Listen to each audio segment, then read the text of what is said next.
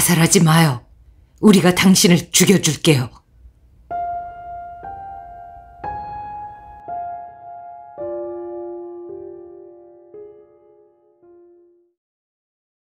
페데리코 아사트 장편 소설 다음 사람을 죽여라.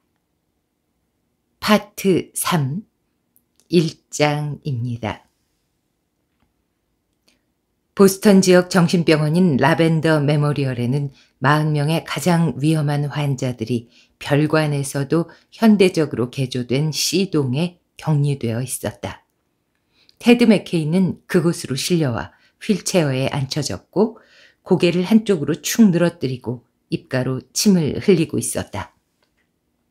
수 간호사인 로저 코너스가 휠체어를 밀었고 그가 신뢰하는 조수들 중 한 명인 키 크고 강단 있으며 엄격한 얼굴을 한 앨릭스 맥메너스라는 여자 간호사가 그 옆에서 따라가고 있었다. 병실은 입구 반대쪽 끝에 있었고 거기 가기 위해서는 경비원이 지키고 있는 출입문을 통과해야 했다. 그들이 다가오는 것을 보고 근무 중인 경비원이 눈을 치켜뜨며 한 팔을 들어 그들을 막았다. 이 환자는 누구죠? 시어도 맥케이, 로저가 대답했다. 경비는 읽고 있던 신문을 내려놓고 머리 위에 달린 보안 카메라 모니터를 흘끗 올려다 보았다. 경비실을 나갈 때마다 그렇게 하는 것이 규칙이었다. 그는 신입 환자 일행에게 다가가며 문 반대편에 있는 그들을 관찰했다. 입원 서류를 못 봤는데요, 로저. 그가 다소 불안한 표정으로 말했다. 그는 이 병원에서 근무한 지 아직 1년이 안 됐고, 그래서 규칙을 항상 예외 없이 지키고 있었다. 닥터 힐이 지금 닥터 그랜트와 얘기 중이야. 닥터 마커스 그랜트는 C병동 책임자였다. 경비는 무슨 말을 해야 할지 난감했다. 그가 낮 근무를 할 때 입원 환자를 받은 경우는 네다섯 번밖에 안 됐고 매번 며칠 전에 미리 통지를 받았었다. 서류가 없으면 들여보낼 수 없습니다. 미안합니다. 여기서 기다리지 뭐. 경비가 고개를 끄덕이고는 이런 상황이 불편해 고개를 돌리고 테드를 유심히 살펴보았다. 테드의 고개는 아직 한쪽으로 축 늘어져 있었고 눈꺼풀은 반쯤 감겼으며 침이 턱에서 5cm 아래까지 축 늘어져 매달려 있었다. 규정된 회색 환자복을 입고 손발이 묶여 있었다. 한순간 그의 눈동자가 경비의 눈에 초점을 맞추는 것 같았지만 주사한 진정제가 앞으로도 대여섯 시간은 더 그를 이 몽롱한 가수 상태로 묶어놓을 것 같았다. 이 남자는 왜 이런가요? 경비가 물었다. 이 병동 환자들 상당수는 살인범이거나 강간범이거나 둘 다이거나 했다. 언론의 주목을 받은 사람도 몇 명 있었다. 하지만 시어도 맥케이라는 이름은 영 생소했다. 병실로 먼저 데려가도 되지 않을까요? 맥메너스가 눈에 띄게 짜증을 내며 물었다. 처음으로 입을 연 거였다. 휠체어를 잡고 있던 로저가 못마땅한 표정으로 그녀를 흘깃했다. 닥터 힐 환자거든. 로저가 설명했다. 어, 저건 못 갖고 들어갑니다. 테드가 두 손으로 꼭 쥐고 있는 말편자를 가리키며 경비가 말했다. 글쎄, 그것도 두고 봅시다. 자, 테드 맥케이가 정신병 환자 중에서도 가장 심각한 환자들만 있다는 C병동으로 갑자기 옮겨져 왔는데요. 이게 무슨 일일까요? 자, 2장 이어집니다. 마커스 그랜트는 C병동의 책임자로 50살이었고 언젠가는 라벤더 메모리얼 병원의 병원장 자리에 오를 가능성이 큰 것으로 점쳐졌다. 그런 가능성이 동기가 되어 그는 날마다 열심히 일했다. 자식 없는 독신남이었고 미래에 아이를 갖겠다는 계획도 없는 것 같았다. 슬프게도 라벤더 메모리얼의 최고 책임자 자리에 오르겠다는 것이 그의 유일하고 현실적인 포부였다. 결혼하고 싶은 여자를 만날 가능성을 완전히 포기한 건 아니었지만 세월이 흐를수록 차츰차츰 멀어지는 꿈인 것 같았다. 그는 인연이 아닌 여자들과 지속적인 관계를 맺은 적이 몇 번 있었다. 예를 들어 현재 만나고 있는 애인 카르멘만 해도 그랬다. 카르멘은 그보다 한 살 어렸고 이혼녀이며 20대인 아들 둘은 대학에 다니고 있었다. 밝고 유쾌하고 자유로운 영혼을 가진 여자였다. 대출금을 다 갚은 집을 소유했고 헤어스타일리스트라는 비교적 자유로운 직업을 갖고 있어서인지 매 순간을 즐기고 새로운 것을 시도할 준비가 된 여자였다. 그렇게 하기를 원했고 할 수 있는 능력도 갖추고 있었다. 그러나 마커스는 섹스와 가끔씩 기대고 위로받는 순간들이 있어서 그녀를 만나는 것일 뿐 그녀에게 진심으로 관심이 있는 건 아니었다. 카르멘은 생각이 얕았고 야망이라고는 없었으며 무엇보다도 일이 마커스의 삶에서 왜 그렇게 중요한지를 이해하지 못했다. 너무 열심히 일한다, 자기야. 미용실에서 내가 했던 대로 해봐. 쫙 정리해서 아랫사람들 시키고 물러나는 거야. 그랬더니 이제 시간이 남아 돌아서 처치곤란이라니까. 미래가 없는 관계. 들어가도 돼요? 로라 힐이 마커스의 사무실 열린 문 사이로 고개를 들이밀었다. 그녀를 본 마커스가 고민을 털어버린 듯 얼굴이 환해졌다. 이게 웬일이야. 어서 들어와. 마커스가 일어서서 책상을 돌아서 그녀에게로 갔다. 로라의 뺨에 입을 맞추는 인사를 하려는데 그녀가 어색하게 서 있어서 앉으라고 의자를 내주는 것밖에 할 수 있는 일이 없었다. 그 순간은 항상 점잖은 마커스에게는 불편한 순간이었지만 그녀 쪽에서는 자기 의사를 분명히 표시한 거였다. 벌써 점심 드셨어요? 로라가 물었다. 마커스가 다시 의자에 앉으려는 찰나였다. 아니, 아직. 그가 희망이 살아나는 걸 느끼며 말했다. 뭐 좀 먹으러 갈까? 아니요. 난 그냥 건너뛰려고요. 내 말은 지금 당장 할 말이 있다는 뜻이에요. 마커스는 고개를 끄덕였고 낙담하면서 자리에 앉았다. 로라는 항상 이런 식이었다. 당글을 흔들어 대다가 재빨리 걷어들였다. 이런 짓을 백 번도 넘게 했는데 매번 그는 당글을 덥석 물려고 덤벼들곤 했다. 아니, 어쩌면 그 자신이 문제인지도 몰랐다. 마커스 혼자 당근을 상상하고 있었던 것인지도 몰랐다. 최근 들어 둘 사이에 긴장감이 어느 정도 고조되었다. 직접적으로 얘기하진 않았지만 마커스가 로라에게 관심이 있는 것만은 분명했다. 그러나 그녀는 그에 대해 같은 느낌을 갖고 있지 않은 것 같았다. 카르멘과의 관계가 파탄 직전이 되자 마커스는 여자친구와의 갈등을 언급하면서 로라 힐에게 조금씩 다가가기 시작했다. 그러자 어느 화창한 날 로라도 그에게 암시를, 당근을 주기 시작했다. 의미 있는 눈길을 던지면서 미소 짓기도 했고 엉덩이를 흔들며 걸어가기도 했으며 등을 토닥이는 그녀의 손이 평소보다 한 박자 더 길게 그의 등에 남아있곤 했다. 한두 번은 좀 더 진도를 나가보려고 애를 써봤다. 함께 저녁을 먹으러 가자거나 퇴근 후 만나자고 제안했다. 그러나 그때마다 그녀는 분명한 거절은 아니지만 이 핑계에 저 핑계를 대곤 했다. 마커스는 로라가 이렇게 행동하는 건 전 남편을 잊으려 애쓰고 있기 때문이라고 그 이유밖에는 없다고 생각하게 되었다. 그러나 다른 각도에서 볼 수도 있었다. 마커스는 그렇게 생각하지 않으려고 애썼지만 로라가 그와의 관계를 이용하고 있다고 생각할 수도 있었다. 그녀는 병원에서 승진을 거듭했고 병원장 맥밀스 박사와 단판을 지을 일이 있으면 자기 대신 마커스가 나서게 하기도 했다. 로라가 마커스의 눈을 똑바로 응시했다. 당신한테 간곡히 부탁할 게 있어요, 마커스. 그녀는 전에도 그에게 부탁을 많이 했지만 간곡한 부탁은 아직 한 번도 없었다. 아, 내가 할 수 있는 일이라면 들어줘야지. 환자 한 명을 C병동에 입원시켜야겠어요. 마커스는 긴장을 풀었다.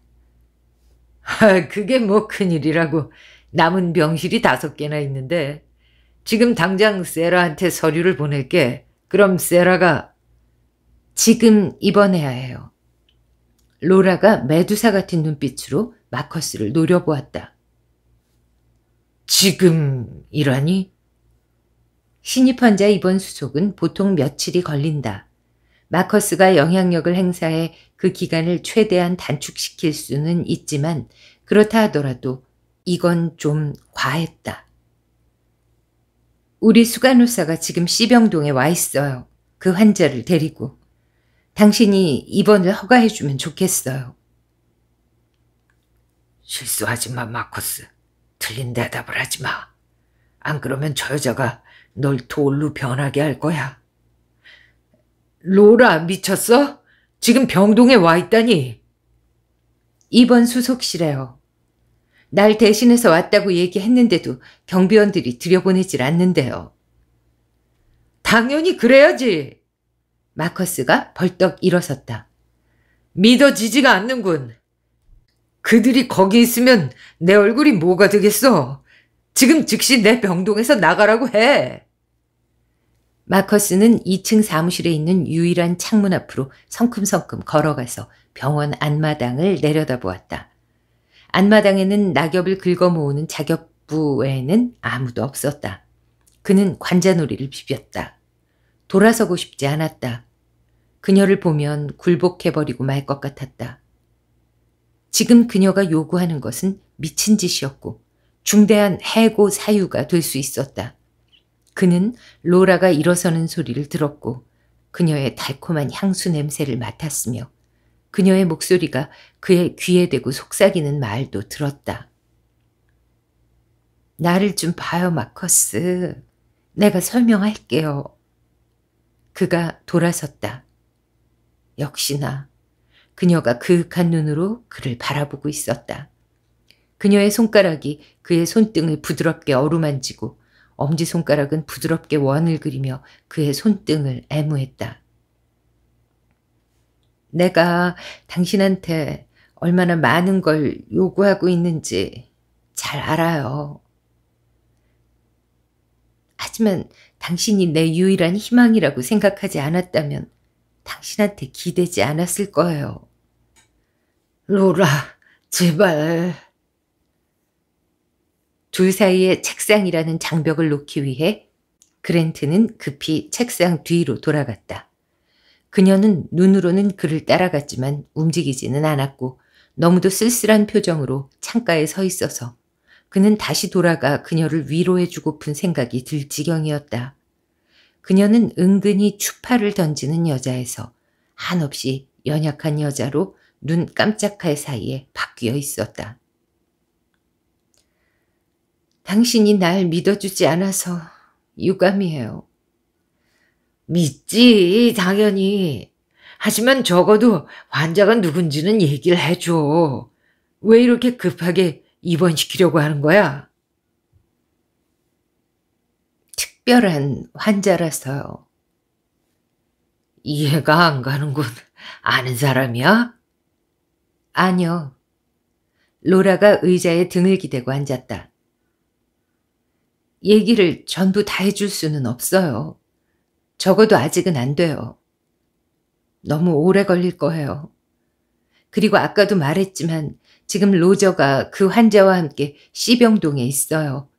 치료를 위해서 즉시 입원시키는 게 매우 중요해요. 안 그러면 발작을 일으킬 수도 있어요. 아, 이런 세상에, 로라. 마커스도 의자에 앉았다. 그는 책상 위에 두 팔꿈치를 대고 눈을 감고 머리를 움켜쥐더니 머리를 앞뒤로 흔들었다. 그가 고개를 들었을 때 로라의 입술에 미소가 언뜻 떠올랐다가 금세 사라졌다. 뭐가 그렇게 재미있어, 로라? 당신이 하는 몸짓이요. 신경 쓰지 말아요. 개인적인 거니까. 당신 환자처럼? 바로 그거예요. 마커스는 결심을 굳히고 있었다. 이 환자가 일반 병동에 머물 수 없다면, 그리고 그런 판단에 대해 당신의 전문가적 의견을 의심할 아무런 이유가 없으니까 세라가 이해해 줄 거라고 믿어. 지금 세라한테 가서 상황을 설명하자고. 당신을 전적으로 지지하지만 내가 해줄 수 있는 건 거기까지야. 로라는 잠시 그의 말에 대해 생각해 보았다. 세라는 의료위원회 심사를 거칠 때까지 C병동 입원은 절대로 허락해 주지 않을 거예요. 잘 알잖아요. 뭐라 할 말이 없군. 그럼 나도 어쩔 수가 없어. 아, 이렇게 하죠. 그녀가 심각하게 말했다. 당신 서명이 있는 입원 허가서를 주세요. 내가 내용을 기입해서 C병동으로 직접 갖고 갈게요. 누가 문제를 제기하면 내가 당신 사무실에서 들고 나왔다고 말할게요. 마커스는 깜짝 놀랐다. 왜 그렇게까지 하려는 거지? 내가 내 일에 대해서 어떻게 생각하는지 알잖아요, 마커스. 난 서류 절차라든가 이 형편없는 병원에서 출세하는 일이라든가 그런 데는 아무 관심 없어요. 내가 관심 있는 건 내 환자들 뿐이에요. 특히 이 환자. 오늘 그를 C병동에 넣지 못하면 당신하고 내가 쌓아온 탑이 와르르 무너져 버릴지도 몰라요. 물론 그러지 않기로 결심은 했지만. 그가 내 병동에 있을 거라면 어떤 친구인지 얘기를 해줘야지. 해줄게요. 나한테 두 시간만 내줘요. 그럼 원하는 건 다 말해줄 테니까. 세라한테는 언제 말할 거야? 최대한 빨리요. 이번 허가서는 어디 있죠? 그들은 함께 사무실을 나왔다. 마커스의 비서는 다행히도 점심 식사를 하러 나가고 없었다. 자, 여기. 그가 파일 캐비넷에서 서식을 꺼내 그녀에게 건넸다. 내가 어디서 꺼내는지 봤지. 그녀는 고개를 끄덕였다. 그러고는 서식을 책상 위에 놓았다. 서명해줘요, 마커스. 뭐? 아까는 내 서명을 당신이 위조할 거랬잖아. 아니요. 그건 나중에. 허가서에 대해서 변명할 일이 생길 때 그렇게 얘기할 거고요. 지금 당장은 병동에서 아무도 의심하는 사람이 없게 해야 한다고요. 그리고 내가 당신 서명을 어떻게 위조해요? 못해요. 싫으면 그냥 X자라도 써 넣어요. 그 정도로도 충분하니까. 마커스가 또 한 번 속아 넘어간 것이다.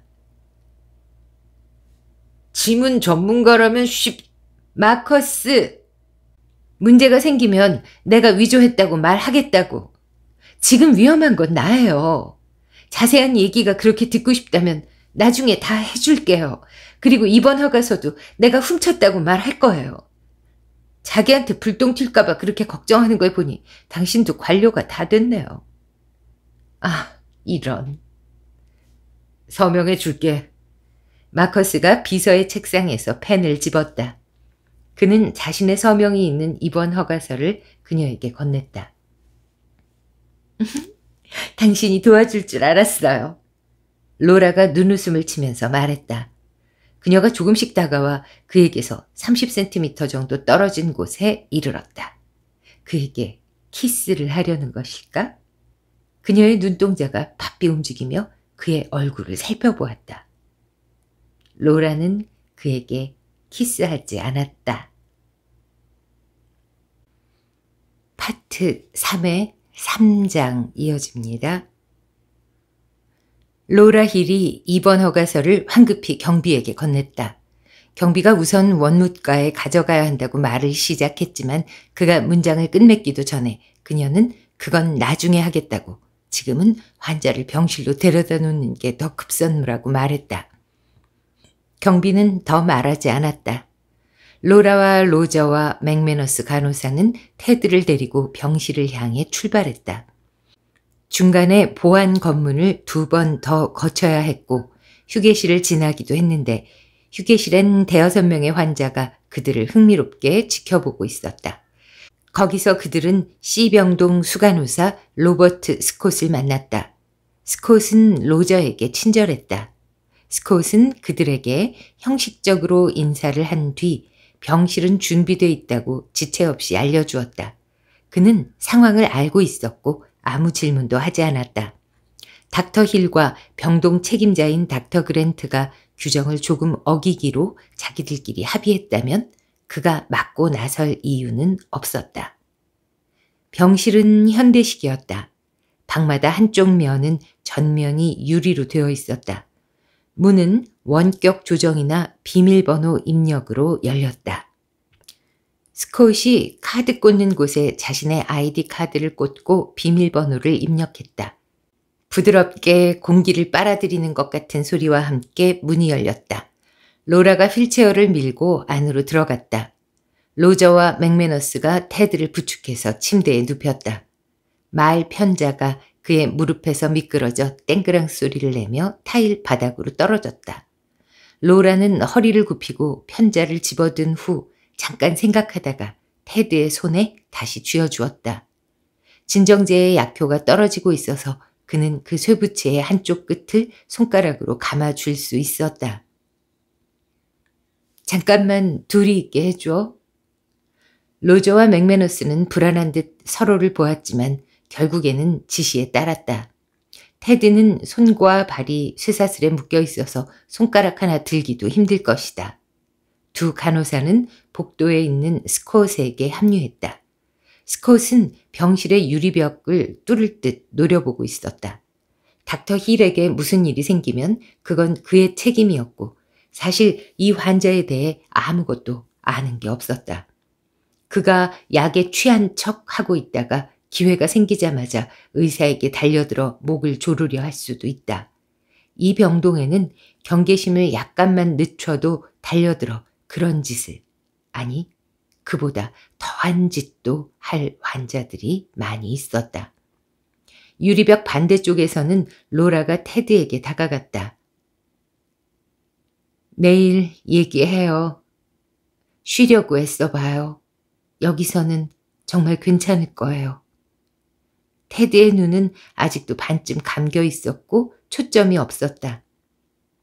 로라가 돌아서서 방을 나가자 그가 고개를 약간 들고 그녀가 방을 나가는 것을 지켜보았다. 나중에 맥메너스가 돌아와서 다른 간호사의 도움을 받아 테드를 새 환자복으로 갈아입혔다. 테드는 옆으로 누웠다. 침대는 비교적 편안했다.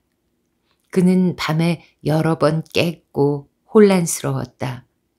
침대에서 보니 어두운 복도와 그 너머에 있는 방이 보였다. 그 방 안에서는 쉰 살가량의 남자가 증오로 일그러진 얼굴로 테드를 노려보며 서 있었다. 4장입니다. 이봐요! 여기 좀 와봐요! 지금 당장! 테드는 두 손 손바닥으로 유리벽을 또 한 번 쾅쾅 두드렸다. 린치가 자기 집 현관문을 그렇게 심하게 두드렸던 것이 기억났다. 그가 돌아섰다. 말편자가 침대 위에 있었다. 좋아하는 테디베어를 꼭 끌어안고 자는 아이처럼 편자를 쥐고 잠이 들었던 것이다. 그는 방탄유리가 틀림없는 유리를 편자를 이용해서 깰 수는 없지만 그걸 들고 유리를 치거나 비명을 지름으로써 더 큰 소음을 만들어낼 수 있다는 걸 알았다.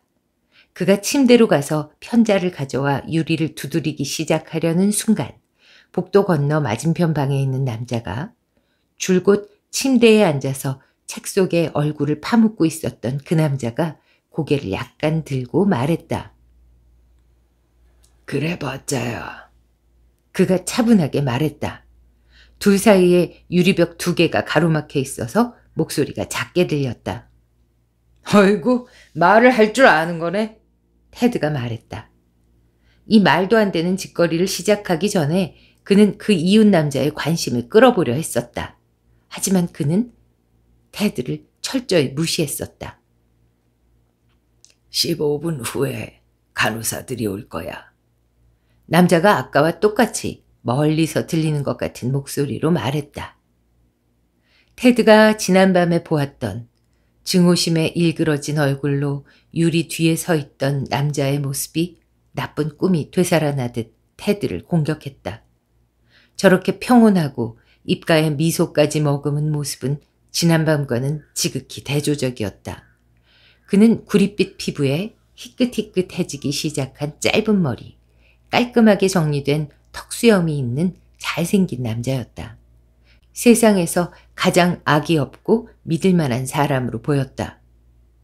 15분? 그걸 어떻게 알아? 남자는 책을 한 손으로 들고 자유로운 팔을 쭉 뻗었다. 회색 환자복 소매가 올라가면서 손목시계가 보였다. 시계를 볼 수 있거든. 우와, 대단한데? 7시가 세면 시간이야.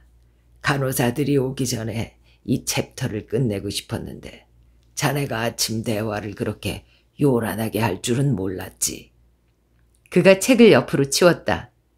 난 마이크 도슨이야.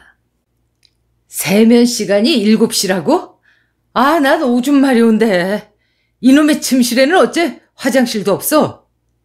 마이크가 껄껄껄 웃었다. 뭐가 그렇게 재밌는데? 여길 침실이라고 불러서. 진짜 침실은 이 건물의 다른 쪽에 있어.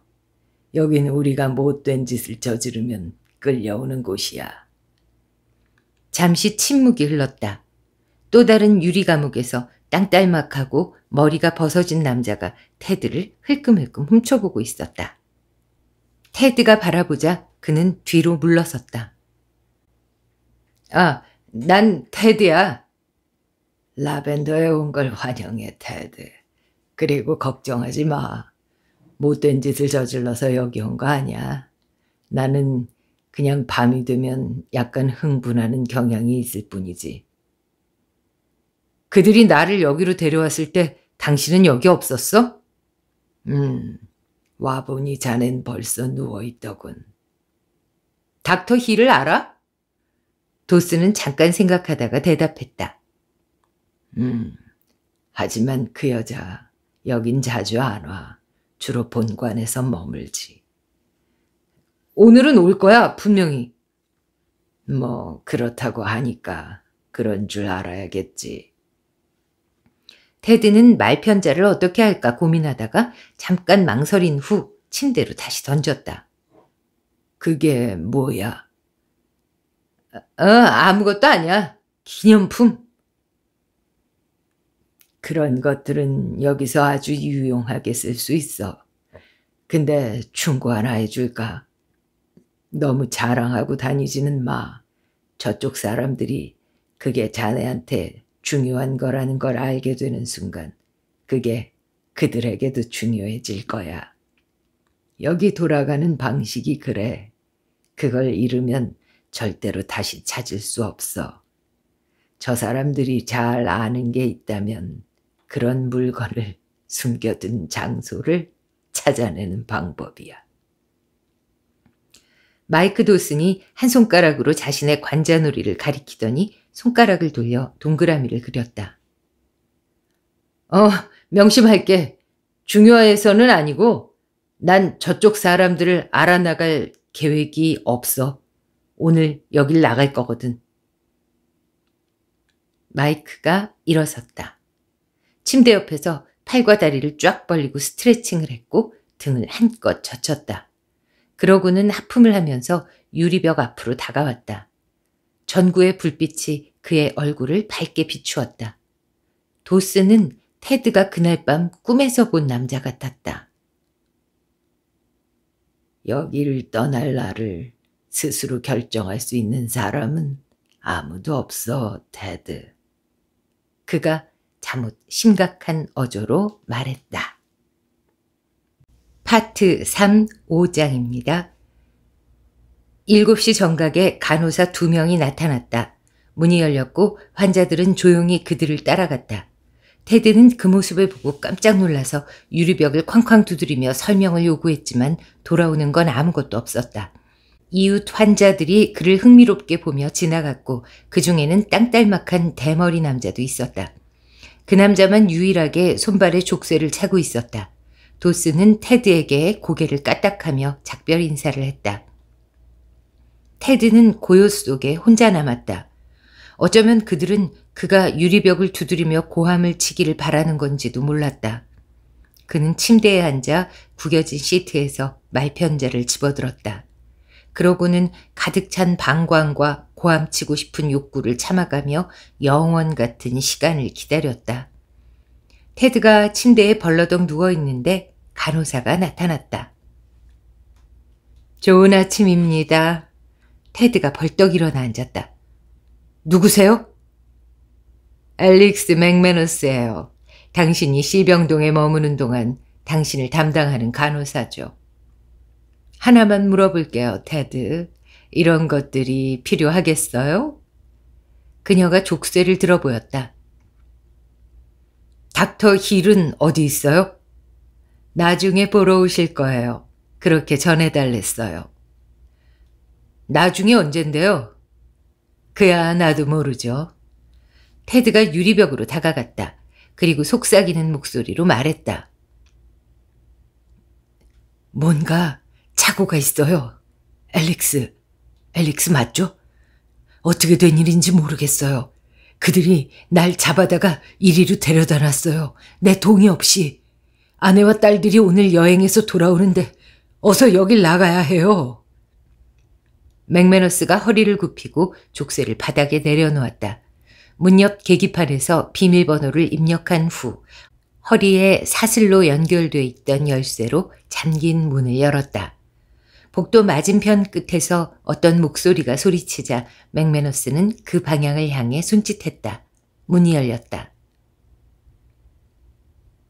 닥터 힐이 오늘 상담하신대요. 아마도 오늘 오후가 되겠네요. 테드가 입을 열었다. 그 전에 와야... 잠깐만요. 맥메너스가 끼어들었다. 내가 하는 말에 토달지 말아요. 그러면 상황은 더 안 좋아질 거고 당신한테 좋을 게 하나도 없으니까. 지금은 화장실로 갈 거예요. 그 다음엔 다른 환자들이 있는 곳으로 데려갈 거고요. 서너 시간 후에는 힐 박사가 보러 올 거니까 하고 싶은 질문은 그때 해요. 괜히 나한테 입 아프게 말하지 말고. 테드는 고개를 끄덕였다. 그들은 복도 끝을 향해 함께 걸어갔다. 잠긴 문 앞에 이르자 맥메너스가 테드에게 등을 돌리고 서서 열쇠로 문을 열었다. 그들은 휴게실로 들어갔다. 휴게실에는 꺼져 있는 TV 한 대와 테이블 몇 개가 있고 책이며 메모가 붙은 상자들이 있는 책장도 몇 개 있었다. 화분도 두 그루 있고 네 개의 커다란 창문을 통해 자연광이 들어와서 상당히 아늑하게 느껴졌다. 다들 어디 갔어요? 맥메너스가 황당하다는 표정으로 그를 보았다. 아침 식사하고 있죠. 테드는 책장을 보고 있었다. 아, 방에 뭘 놔두고 왔는데 갑자기 그가 걱정스러운 어조로 말했다. 걱정 말아요. 돌아가면 거기 그대로 있을 거예요. 테드는 라벤더에서는 물건이 참으로 쉽게 사라진다던 마이크 도슨의 말이 떠올랐다. 그들은 샤워장으로 들어갔다. 녹색 유니폼을 입은 남자가 그들을 맞아들였고 테드에게 수건 한 장과 갈아입을 옷을 주었다. 맥메너스는 샤워 칸막이의 낮은 벽 위로 테드를 감시할 수 있도록 나무 벤치에 자리를 잡고 앉았다. 어딜 가나 날 따라다녀야 해요? 맥메너스가 어깨를 으쓱했다. 테드는 차분히 옷을 벗어서 잘 갠 다음 나무 벤치 위 갈아입을 깨끗한 옷 옆에 놓았다.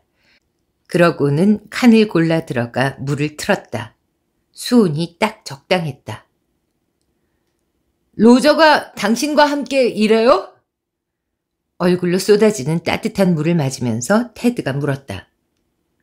네, 좀 있다가 들릴 거예요. 그가 며칠간 나를 감시했는데 맥메너스는 아무 말도 하지 않았다. 테드가 비누칠을 시작했다. 그는 간호사를 보지 않고 말했다. 그건 몰랐죠? 안 그래요? 뭘 몰라요? 로저가 나를 미행했다는 사실 두 번이나 나한테 들켰죠? 내 집에도 다녀갔을 거예요. 이번에도 아무 대꾸가 없었다. 그것만으로도 그를 고소할 충분한 사유가 되죠? 테드가 말을 이었다. 내 변호사들이 좋아할 거예요. 난 내 권리를 알고 있고 나를 약에 취하게 만들어 한밤중에 여기로 끌어다 놓은 것은 명백한 인권 침해라는 것도 알고 있거든. 내가 닥터 힐을 만나겠다고 한다면 그건 그녀가 왜 그런 짓을 했는지 내 앞에서 직접 얘기해 주길 바라기 때문이에요. 아무 말 안 할 작정인가요? 무슨 말을 해야 할지 모르겠는데요. 내게 내려진 지시사항은 처음 몇 시간 동안 당신을 잘 지켜보라는 게 전부였어요. 개인적인 지시사항은 하나도 없었고. 어느 환자한테나 이렇게 해요, 우린. 난 환자가 아닌데. 마음대로 생각해요. 우린 병동에 입원한 환자들 모두를 똑같이 대하고 있어요. 근데 변화에 적응 못하는 사람들도 제법 있어요. 새로운 얼굴들이 보인다는 건 그들이 익숙한 세상에 변화가 생겼다는 의미죠. 이제 아침 먹으러 가서 새로운 친구들을 만나볼 차례입니다. 벽에 흥미로운 샴푸통이 붙어 있었다. 반 구체의 통이 벽에 박혀 있어서 분해하기도 힘들 것 같고 집어던져 누구에게 상해를 입히기도 불가능할 것 같았다. 테드가 통을 누르자 분홍색 샴푸가 가느다란 줄기처럼 흘러나왔다. 이미 맞은편 방에 있는 친구를 만나는 기쁨을 누렸죠. 테드는 샴푸를 머리에 바르고 문지르면서 말했다. 누구요? 도슨! 아, 그 사람은 여기 있은 지 10년도 넘었어요. 도슨하고 친하게 지내면 다른 환자들하고도 아무 문제가 없을 거예요. 내가 계속 여기 있을 것처럼 말하는군요. 테드가 물을 껐다. 그는 재빨리 벤치로 걸어가 수건으로 몸을 감쌌다. 그들이 날 계속 여기 가둬놓을 거라고 확신하죠? 안 그래요? 이미 말했잖아요. 당신에 대해서는 아무것도 모른다고. 좋아요. 테드는 조용히 옷을 입었다. 다 입고 나서 벤치에 앉았다. 맥메너스는 5미터쯤 떨어져 있는 다른 벤치에 앉아 있었다. 준비됐어요? 간호사가 물었다. 근데 이건 어쩌죠? 테드가 벗은 옷을 가리켰다. 맥메너스가 빈 세탁물 바구니를 가리켰다. 샤워장을 나온 후 테드는 맥메너스에게 말편자를 가지러 자기 방부터 먼저 들르자고 요청했다. 6장입니다. 테드가 휴게실에 들어서자 모든 대화가 중단되었다. 사람들의 얼굴에 놀람과 불신이 떠올랐다. TV 오락 프로그램의 사회자만이 이런 긴장감을 무시하고 우스갯소리 같은 질문을 계속 던졌다.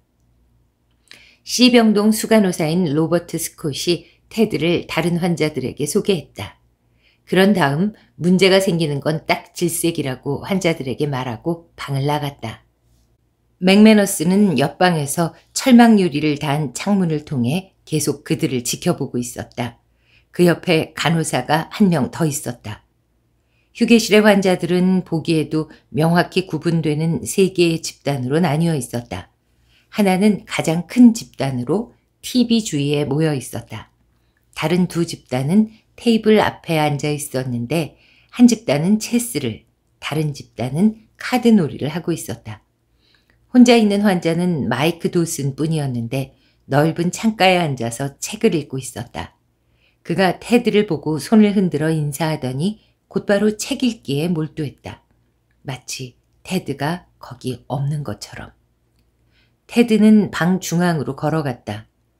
체스하는 사람들 옆에 가볼까 하는 생각이 문득 들었지만 그게 좋은 생각인지 확신이 없었다.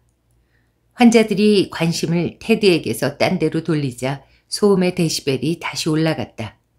카드게임 하는 사람들은 쉬지 않고 말했고 TV 시청자들은 질문에 동시에 소리쳐 대답하거나 서로 입씨름을 벌이기도 했다.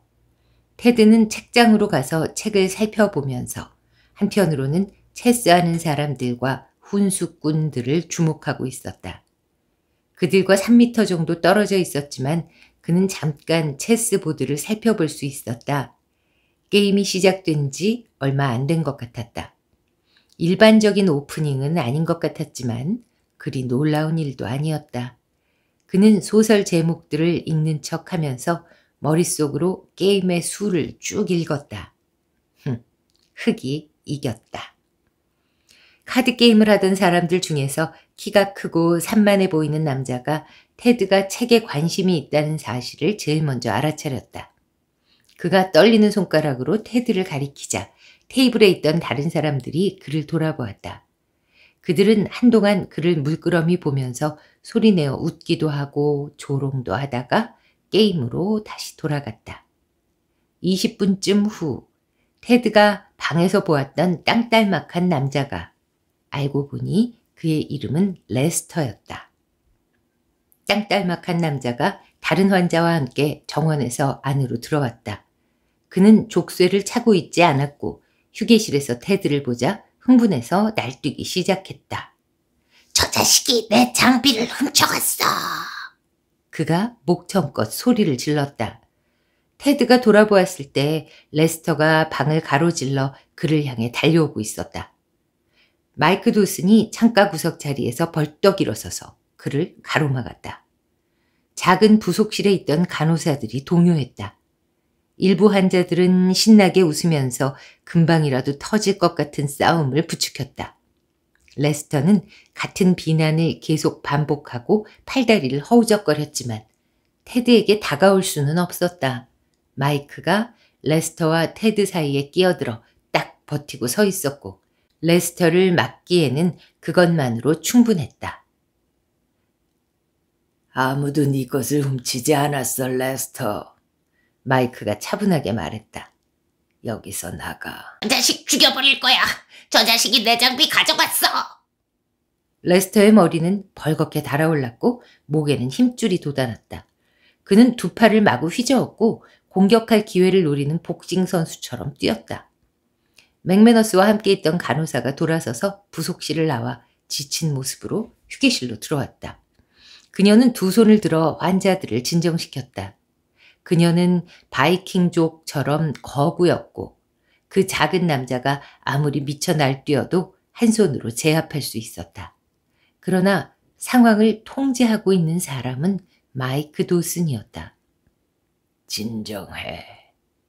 마이크가 명령했다. 저 자식이 어젯밤에 들어왔어. 레스터가 우리에 갇힌 동물처럼 말했다.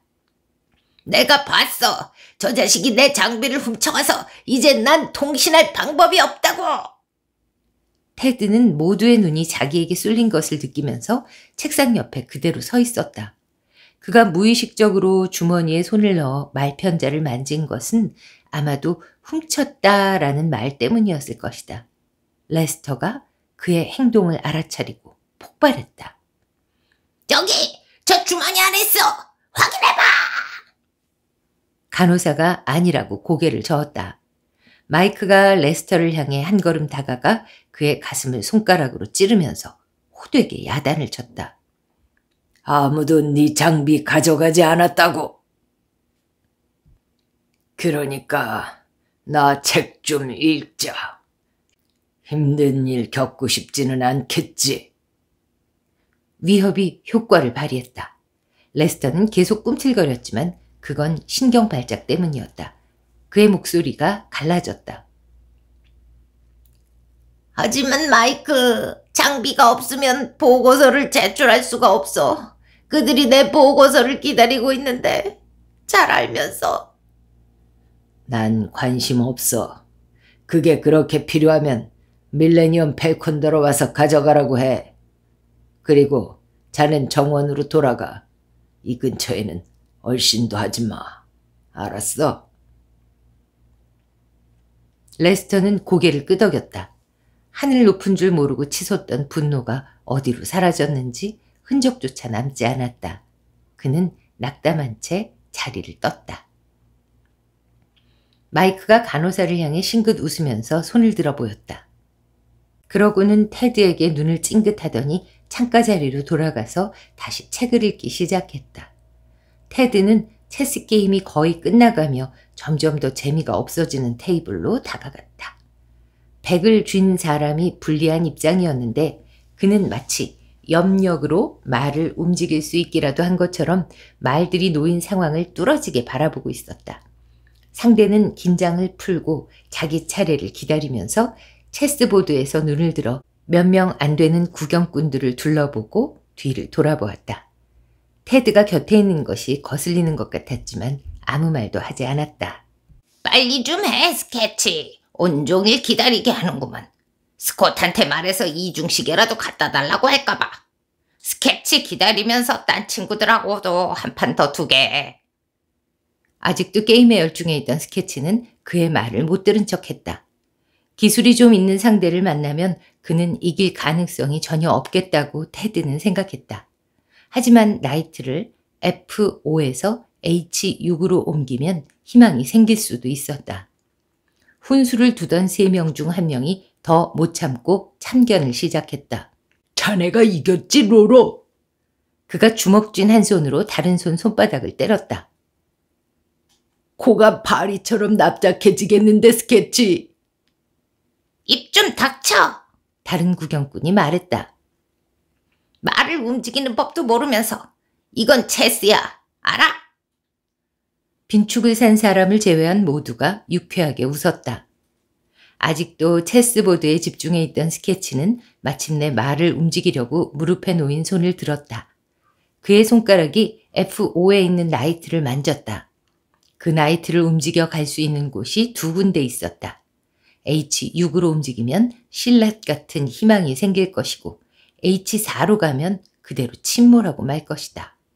그는 H4를 택했다. 넌 내 적수가 못돼, 스케치. 테드는 자리를 떴다. 로라를 얼마나 더 기다려야 할지 아득하기만 했다. 테드는 문을 향해 걸어가다가 마이크 도슨이 책을 내려놓고 자신을 보고 있었음을 알아차렸다. 잘하는 일인지 어떤지 알 수 없었지만 테드는 그가 앉아있는 곳을 향해 걸어갔다. 레스터를 막아줘서 고맙다고 인사라도 해야 할 것 같았다. 자넨 알고 있었지? 나이트가 H4로 가면 안 된다는 거. 마이크가 테드를 놀라게 했다. 그 순간 테드는 그가 무슨 말을 하는지 알지 못했다가 곧 무슨 말인지 깨닫고는 어깨를 으쓱했다. 응, 어렸을 때 체스 좀 했어. 나도 전문가라고 할 수는 없고. 언제 한 게임 할까? 마이크가 테드를 시험하고 있었다. 그러지. 테드가 다시 걷기 시작했다. 잠깐만. 마이크가 그를 물끄러미 보았다. 같이 가자. 레스터가 아직 밖에 있을 거야. 그때서야 테드는 휴게실이 다시 한번 고요해져 있음을 알아차렸다. TV 진행자를 제외한 모두가 마이크 도슨과 그의 대화를 엿듣고 있는 것 같았다. 테드는 아까 샤워할 때 맥메너스 간호사가 한 말이 기억났다. 도슨과 친하게 지내면 다른 환자들하고도 아무 문제 없을 거예요. 화단과 잎이 무성한 나무들과 숲길이 있는 정원은 아주 넓었고 하루 중 이때쯤엔 혼자 있기를 좋아하는 환자들 서너 명만이 고독을 즐기고 있었다. 레스터는 농구 코트 구석에 모여 있는 소규모 집단 속에서 찾을 수 있었다. 몇 명은 벤치에 앉아 있고 다른 사람들은 서 있었다. 마이크와 테드가 정원으로 나오자 그들이 즉시 두 사람을 돌아보았다. 그러니까 자넨 자네가 여기 왜 와 있는지 모르는 거지. 마이크가 물었다. 테드는 믿기지 않는다는 표정으로 그를 보았다. 아침 햇살 속에 서 있는 마이크는 세상에서 가장 정신이 온전한 사람으로 보였다. 전날 밤 광기 어린 눈으로 자신을 노려보는 그를 보지 못했다면 그가 라벤더에 왜 와 있는지 이해하기 힘들었을 것이다. 당신과 마찬가지지 뭐. 당신도 여기 있잖아. 테드는 생각했다. 그들은 커다란 소나무 밑에 있는 외따로 떨어진 벤치로 걸어갔다. 안 그래? 자리에 앉은 후 마이크가 대답을 강요했다. 어, 모르는 건 아니고, 테드가 어느 정도 체념하면서 말했다. 지난 몇 주 동안 닥터 힐한테 치료를 받아왔어. 내가 수술 불가능한 뇌종양에 걸렸거든. 주치의가 상담 치료를 받으면 뇌종양 대처하는데 도움이 될 거라고 해서 시작했어. 객관적으로 말해서 주치의의 생각이 옳았어. 닥터 힐하고 상담해봤자 좋을 게 하나도 없을 거라고 생각했는데 도움이 많이 됐지. 근데 이젠 닥터 힐이 너무 앞서 가 버렸어. 레스터와 그의 친구들은 농구 코트에서 농구를 하고 있었다. 공이 시멘트 바닥에 부딪히며 쿵쿵 튀었다. 자네 의사와는 상관없이 닥터 힐이 자네를 여기 집어넣은 거야? 응. 마이크가 주머니에 손을 넣어 담배 한 갑을 꺼냈다. 그가 한 개비를 내밀었지만 테드는 거절했다. 나도 예전에는 담배 안 피웠어. 마이크가 도금된 라이터로 담배에 불을 붙이면서 말했다. 그는 담배를 길게 한 모금 빨았다. 그러고 나서 손가락 사이에 낀 담배를 관찰하며 아리송한 말을 덧붙였다. 때로는 내가 지금의 나를 예전의 나와 분리시키기 위해 담배를 피우는 것 같다는 생각이 들어. 테드는 아직도 라이터를 보고 있었다. 마이크가 그 사실을 알아차리고 말했다. 사람들이 나를 더 많이 믿게 만들수록 상황은 좋아지는 것 같아. 지금 여기서의 내 삶은 꽤 평화로워. 나를 고문하는 건 밤이지.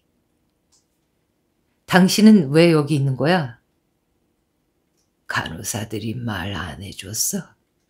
테드는 고개를 가로저었다.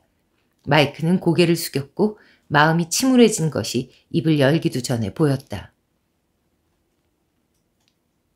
제일 친한 친구의 가족을 죽였어. 멀리 농구장에서 농구공이 쿵쿵 튀어오르고 있었다. 나는 깊이 병들어 있었어. 마이크가 말을 이었다. 이제 그는 어깨가 축 처지고 쪼그라든 모습으로 두 팔뚝을 무릎에 댄 채 땅을 노려보고 있었다. 여기서 대규모의 탈옥이 일어난다고 해도 무슨 말도 안 되는 이유로 병원 측이 나를 내보내준다고 해도 난 퇴원을 거부할 거야. 친구의 딸이 살아남았어. 내가 나무에 목매달아 죽어도 그 아이의 원한은 풀리지 않겠지. 너무 쉬운 해결법이고. 테드는 아무 말 없이 듣고 있었다. 이거 알아. 미친다고 해서 상황이 완전히 바뀌지는 않아. 면죄부를 주지는 않는다고. 감옥에 보내는 대신 이런 정신병원에 가두겠지. 하지만 너의 일부는 항상 책임이 있는 거야. 다른 일부를 막지 못한 책임. 너의 일부는 알고 있으니까. 모든 것을 알고 있으니까. 이제 테드의 머릿속에는 웬델이 떠올랐다. 버려진 공장의 지하실에서 보았던 웬델. 여기 네 머릿속에 정보가 있으면 그것 때문에 문제가 생길 수 있어. 마이크는 잠깐 말을 멈추고 하늘을 올려다보면서 생각에 잠겼다. 그를 평화롭게 두지 않을 과거의 세세한 일들을 떠올리는 게 분명했다. 그는 관자놀이를 만지면서 눈을 크게 뜨고 테드를 노려보았다. 마음은 마술상자야. 속임수가 가득하지. 우리에게 경고할 방법을 항상 찾아내. 우리에게 탈출구를 제시할 방법, 문을 제시할 방법을. 문을 열어. 그게 네 유일한 탈출구야. 이건 테드의 귀에 들리는 환청입니다. 테드는 시야를 가린 소나무를 보면서 마이크 도슨의 몸이 나뭇가지에 매달려 부드러운 산들바람에 흔들리는 모습을 상상했다. 자네 말이 맞는 것 같아. 마이크가 미소 지었다. 또다시 보게 된 친절하고 도와주는 사람의 표정. 어쩌면 자네 말대로 내일은 자네가 여기 없을지도 모르지. 아니면 내일도 이 벤치에 앉아 있을지도 모르고 우리 모두 조만간 그 문을 열어야 돼.